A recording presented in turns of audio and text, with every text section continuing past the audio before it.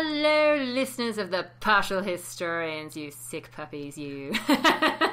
I'm just kidding. You're Or very kittens, welcome. kittens, In kittens, please, yes. yeah. You're very, very welcome. I am one Dr. Radness, and this lady to my right is Dr. Greenfield. That is me. Welcome. Hello. Hello.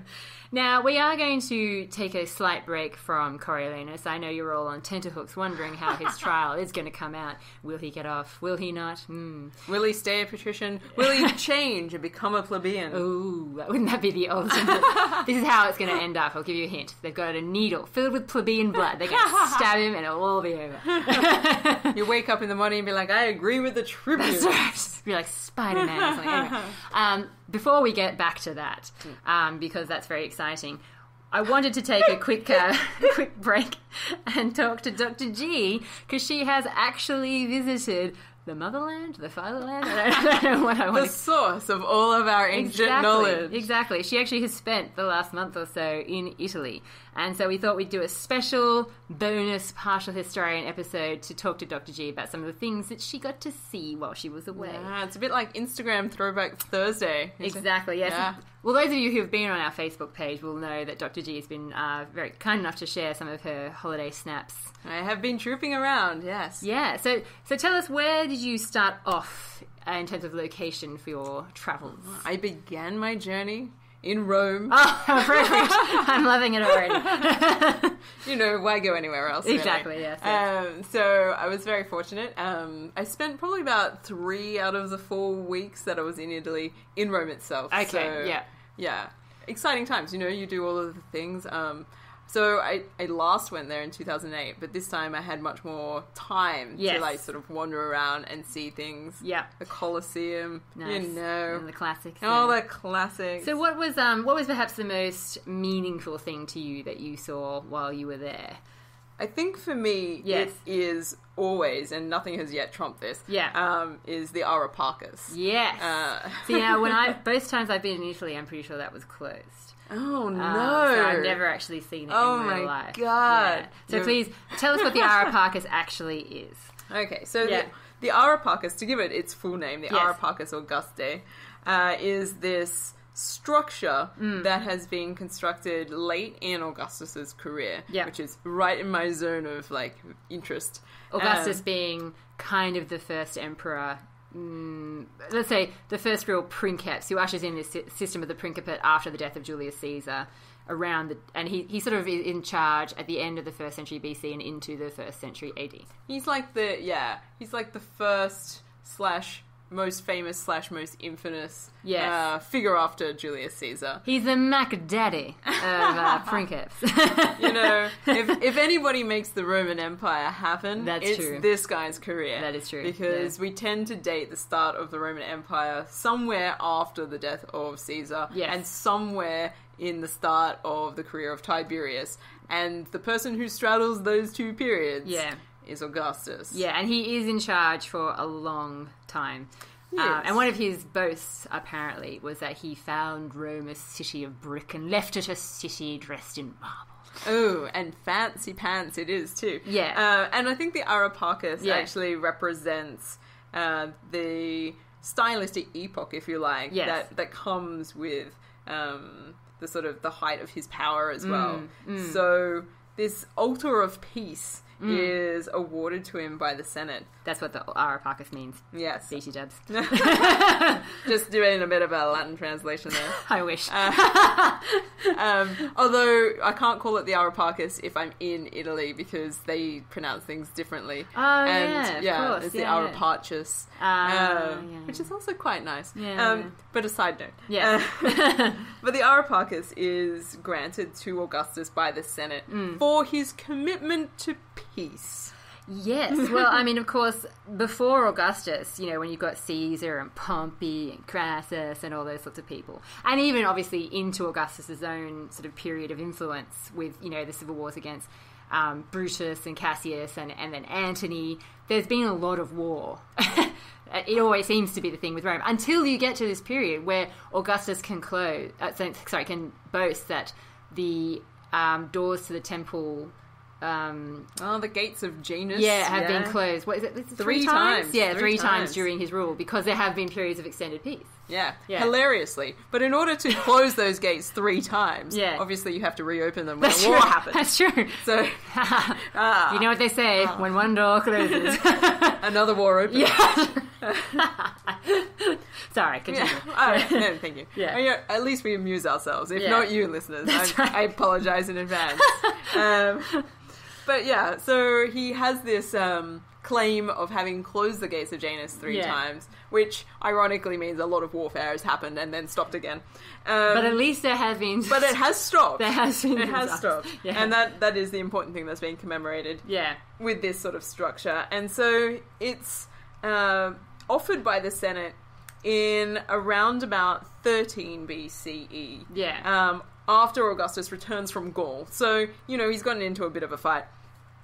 Comes back. Yeah. Everyone's like, peace. Finally, there is peace. And, and grand amounts of it as well. Yeah. Um, let us build an altar. Yes. Um, and it takes them some time to put it together. The whole thing is constructed from marble. yes. Um, and I do recommend if you have the opportunity at all um, and you happen to be in Rome, just go there. yeah. Um, it is a beautifully preserved um, structure in its current position. yeah. Um, it has a long history of the excavation and the reconstruction, and there's a bit of Mussolini involved in there. Uh, I know. There's fascists. Yeah. Co-opting Roman history. Look, yeah, there's there's a lot of things going on with that structure itself and the history of its reconstruction. Mm. Um, but the way that it is currently set up in terms of the museum that has been built around it, Yes. um, to keep it in humidity and temperature control, um, it's absolutely a delight to to see. Yeah. Um, and So what would you be seeing if you go and see? Ooh. Yeah. Oh, I'm so glad you asked. so, if you go into this uh, museum Yeah. of the Ara Pacis, um, what you will find is that you've got like a relatively square-like structure which has some steps um, going from the south to the north, leading in Mm-hmm. um, to what is the the center chamber where there's an altar itself. right. So this outside construction, it's we don't know whether it had a roof or not. Probably, maybe. Yeah. Um, we're not sure. Um, but the walls itself on the exterior are highly decorated. Yes. And the top panels around the outside have these very intricate friezes. And what you find from looking at it from the front, where you've got the steps leading in, is some a couple of friezes where we don't have many of the pieces. Yes. Um, and these freezers and the parallel freezers on the back side Yeah. um, depict what appear to be highly symbolic, um, quite sort of divine mythological sort of ideas and scenes. Right. Um, and what we get on the sides up the top are continuous freezers that run along the whole length on either side, which is a procession Yes. and we think this is the a recognition of the procession that would have taken place, or at least a, a depiction of the type of procession that would have happened with the dedication itself and the Sure. opening of this uh, altar to the people. Yeah. And there are some representations on. Um, part of this is uh, Augustus's family itself, isn't Yeah, it? yeah, Yeah. yeah. A lot of the figures on one side Yes. are family members, Yeah. and we can identify them.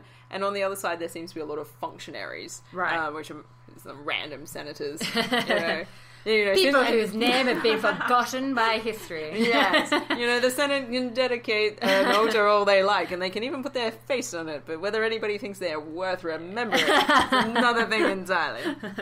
Uh, so yeah, so we got a lot of faces on one side. Where we're like, oh yeah, some people. Hmm. Yeah. There's definitely some people in that They look important. yeah, um, definitely some senators, definitely some priests, Uh-huh, yeah. um, and one side which is like very clearly, distinctly including family members of mm. Augustus's broader kinship circle. Yeah, yeah, because when we say family, obviously we mean familia in the yeah, yeah. in yeah. the Roman sense of things. All the relatives All are the involved. relatives, yeah. So, yeah, so you Cool. yeah you've got a lot of historical bits and pieces that you can pick up by looking at it. yes. Um, and then you've also got um, some beautiful sort of mythological scenes, which scholars continue to argue about. what they're actually representing. Yeah. So one of the most famous um, friezes uh, on the back of this building Mm. is the one that is thought to be either Tellus, Ceres, Pax, Roma. They can't really quite pinpoint who this That's woman quite a range is. of characters. Yeah. yeah, yeah. uh, and we talk about the polysemy, um, the multi meanings, Yes. um, multiple meanings that can be read into this particular um, image. So you've got this woman who is sort of sitting there and she's holding a child and she's surrounded by other figures, but there's all sorts of vegetation which is really distinct, and there's all mm. sorts of animal life which is very distinct as well. And the multitude of symbolism there is just too much for anybody. Everyone's like, oh my goodness, it could be this person. And somebody's like, yes, but it could also, it could be this person. Yeah, yeah. And by the time you uh, spend some time looking at it, you think, well, it could be anybody, couldn't it? Yeah. Um, I guess the main thing is it seems to be religious in nature. yeah. I noticed that it seems to be mythological. so I sense I've got a god here of some kind. yeah. Um, it's not a realistic scene. Yeah. So we've got that to go with. Yeah. Um, but aside from that, anybody, any guess, um, is up for grabs, really. Hmm. It's kind of amazing that it's, it's survived, I suppose, as well. I mean, being Marvel, sometimes these things are sort of stolen and reused by random Christians. Yeah, yeah, it's interesting. They've been finding pieces of this structure since about uh, the 16th century. yeah, yeah. Um, and they've actually cobbled them all together. right, okay. so they um, were kind of disemboweled, I suppose. Oh yeah, it was Yeah. broken up into little pieces. Okay, that makes and sense, yeah. and there's lots of dispute over whether Mussolini's reconstruction, which is what we have today, Right. is Accurate. correct. Yeah, yeah. As well. How interesting. Hmm. Mm. So tell me, what other fantastic sights did you see while you were in Rome? Anything else stand out to you? Look, I'm a sucker always for the Roman Forum. Yep. You know. Classic. You know. Well, I mean, it's, it's a good thing to appreciate now. It may not be standing. Oh yeah, look, everything is disintegrating. It is it is pretty horrific. Yeah. Um, the state of preservation and the incapacity of the powers that be um, yeah, to I mean, what, invest in that preservation. if I may be so bold, could I ask what your opinion is on this whole situation? I mean, do you think that they should be allowed? I mean, that they're ruins, that they weren't built to last forever. Maybe they should be allowed to just sort of slowly deteriorate, or do you think that there should be, you know, I mean, and let's face it, it would cost a lot of money pumped into this sort of a site to keep it as it's currently is for future generations to enjoy. I think it is a very contentious topic. It is, because on the one hand, if you're somebody, if you're a Roman today, Yes. living in Rome, those ruins are often considered an inconvenience Sure. to getting anywhere and doing anything. Yeah, yeah. Um, the city is only partially functional. Yes. Uh, as a result of having all of these things that you can't do anything with. Well, I, mean, I've, you know, you always hear the classic stories about anyone doing any sort of building work in Rome is always like dig, dig, dig, dig. Damn it, a ruin! ah! Quick, somebody, yes, you can't actually do any excavations for any new building sites without having an archaeologist on the team because you will find things. yeah. Uh, it is inevitable that stuff will then be found, again, then again, and then it must have be the, you have the privilege of living in Rome. You do argument, have the yeah. privilege of living in Rome, Yeah. and when I've when I was talking to people who live there, Yes. most of them feel like the ruins one contributes so much in terms of their understanding of self, Yes. but also the tourism that that brings yeah, in. I was going to say the, You- the money. Yeah. yeah, yeah, there is a real uh, need, if you like, to keep that tourism industry operational. Sure. So investing in the preservation of what is what remains um, is not the worst idea anybody's ever had. No, But how do you navigate that with the concerns of the day to day lives of Roman citizens Yeah. in that city now? I think it's really hard. Mm. And one of the things that I found that people complained about as well was that certain sites used to be open to citizens right? uh, for free Ah, because you were Roman. yes. And if you lived in the city, it was part of your, Your city privilege, and it was part of your privilege as Yeah. a citizen to just be able to go there and hang out if you wanted to. Yeah. And now a lot of those sites, um, such as the Roman Forum, everybody now must pay a ticket for entry. Mm. And you can see how resentment would start to build up, being like, I live in a city and I can't even access the amenities that this city offers. It, it's a tricky one because I suppose not having that kind of situation myself, like, you know, obviously you grow up in a place like Sydney, I, I don't think there's ever been a place where I've gone to and they said, "Ah, you were born here. Please come in. Don't pay the don't pay the entry fee." No It's- fee for you. yeah, exactly. Like it's not like I don't think that's ever ever happened, and it's and therefore it's just not an expectation of mine. Um, but yeah, I can understand. I suppose if you've grown up with that sort of expectation, then Well, it's almost like they're public parks in, Yeah. in many respects. Like the Palatine, the Forum, they're they're open spaces. that's true. yeah. and I it have- used to be the case that there was just no gate, yeah, okay, and now yeah. there's a gate. yeah. Ooh, it's a tricky issue. It So definitely is a tricky yeah. issue. Yeah. Mm. Um, So were you? Because I know it's been a few years since you were in Rome. Were you shocked? Like, could you notice a difference in what was there, or was it more just you, you know you've heard about the collapses and the that sort of thing, and therefore you were sort of on the lookout for them? no, not really. I mean, I took a very sort of. I was I was trying not to be too much of a historian, to be honest. What I did notice was that you know new places in the forum are now under excavation that weren't under excavation Ah, before, okay. Yeah, and yeah. the places that I couldn't get into in the forum, I now had access to. I took a lot of photos of um, the areas that are associated with the atrium of the Vestals, so the house of the Vestals. Yes, the Vestal Yeah, Virgin. because last time I was there, I couldn't get into that section. There was there was actual archaeological work taking place, and it was all blocked off. And now it's open. I was like, oh yes. So what did you what did you think? Oh, you know, it was very exciting. I took pictures of all the statues. Yeah. uh, you know, um, it was just a pleasure to be able to be to be humbled by the experience of being so close. Yeah. uh, to the things that I've spent so long theoretically and abstractly studying, and to know, know that I'm yeah. standing on the on the space Yeah. uh, in the location where the things that I'm really interested and curious about about ancient Rome were happening. yeah. Um, I think that's just it. I think being historians of that part of the world um, from Australia, as you and I are, um, it often does start to feel like a bit of a, a wonderful story. And you don't mind because you enjoy the story. But then when you actually go there, you're like, holy shit, this stuff is real. the stories were true. Yeah. What are you saying? it just sort of blows me? your mind to suddenly realize I'm actually in the place. You know, Yeah. like um, you know, I, I felt the same way when I went to you know Capri and stood up on the the peak at the Thought know- about all of the boys. no, no, I did not. Uh, but yeah, like standing up on the you know on the ruins of the Villa Jovis, like Tiberius's and others, um, sort of royal retreat, I suppose, imperial retreat. Um, and yeah, it was kind of weird to think like this is a view that he would have seen. Like no matter how much else this has changed, this this probably is something that we both share, and it's just such a bizarre connection to have after thousands of years. Yeah, yeah, Yeah. for sure. And I think it makes you realize that your commitment as a historian is really to find something of the truth of the narrative if you can. Yeah, and it's it's incredibly difficult given what remains. It just makes it And- that little bit more concrete, though, doesn't it? Yeah, yeah, And you're like, you know, I have on some level a duty to the people who live these lives to try my best to get it right for them. yeah. You know, and that is compelling as well, I think. Yeah. So tell me, um, when you went a bit further afield, did you bump into any sites of historical significance? or- Oh, look, I tried to bump into as many historical sites as I possibly could. Um, I I did attempt um, quite strenuously uh, to see the Temple of Diana, Ah, yes. um, which is on uh, Lake Nemi, which is not very far from Rome at all. Yeah. um, you can do it as a day trip, not a problem.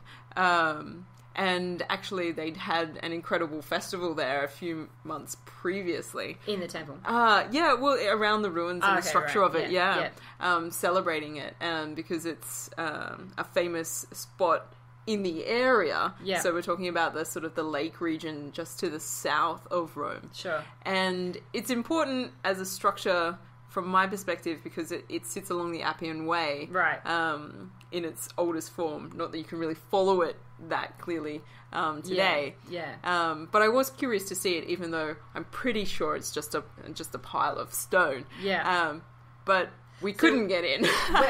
when when would when would this have been erected initially? The That is an excellent question, and you know, I can't even remember. Okay, fair enough. Yeah, I was like you know imperial or yeah. Yeah, yeah. I'm not. Yeah, like the details elude me right That's now. That's okay. Yeah. yeah, but yeah, I was on this quest, a failed quest as it turned out. We ended Ah. up driving down a very, very honest- rocky road that you could only go one way on, winding down the side of a hill, only to find ourselves at the location. And the man there who was brushing his horse was like, "No, it's definitely closed, man. It's gonna be closed for months." Run away. We're Run like, away. ah, get out, back up the hill. Seems like a bizarre thing to close if it is just like a pile of rubble. But Yeah, well, I don't know. I mean, they do, they had a festival there, so maybe Sure. they were trying to let everything like the sort of grass recover or whatever. Yeah, fair enough. Fair enough. I don't know. I don't know. What I did see, which Yes. was exceptionally exciting from my perspective, Yeah. um, was a frieze of the Vestal Virgins, which is kept in a museum in Palermo. Ah, is this the one that you posted about on the Facebook page? Or I is this... well, quite yes, I believe so. Okay, yes, cool, because I was yeah. very excited. Yeah. Um, and I was almost not able to see it as well. Yeah. Um, hilariously. you know how these things go. yeah, yeah.